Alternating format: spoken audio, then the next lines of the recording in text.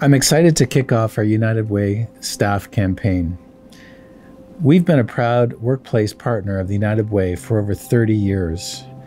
Together, we're building healthier and stronger communities. Thank you to all our staff, physicians, researchers, and volunteers for your previous donations. And I hope you'll continue to support the United Way campaign this year. Your support makes a difference to the lives of our most vulnerable community members.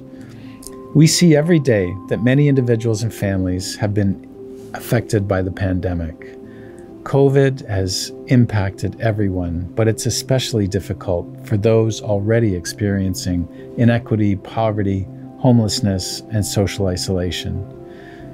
Donations can help reduce hospital admission rates and emergency department visits by strengthening local community resources that keep people healthier.